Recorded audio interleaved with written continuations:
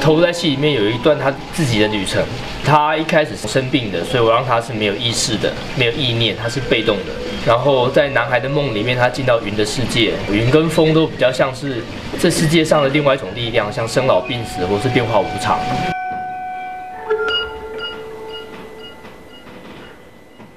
J'ai beaucoup aimé quand la tête est dans les nuages. Et quand les nuages bougent comme ça, je trouvais que c'était vraiment, vraiment, vraiment magnifique. J'ai trouvé très très beau euh, le jeu avec les nuages, lorsque les nuages s'animent et se transforment en, créatures euh, magiques qui bougent, euh, qui dansent, et on ne sait pas si on est dans l'eau, si on est dans l'air, si on est dans le rêve. C'était très joli, c'était très très fort. C'était à la fois très très simple et très très riche. C'était super bien. J'ai beaucoup aimé euh, les petits personnages. Quand on regardait le spectacle, on oubliait pratiquement que les personnages qui faisaient bouger les marionnettes, on, prenait vraiment pour du réel en fait. Et par moments, j'ai failli pleurer.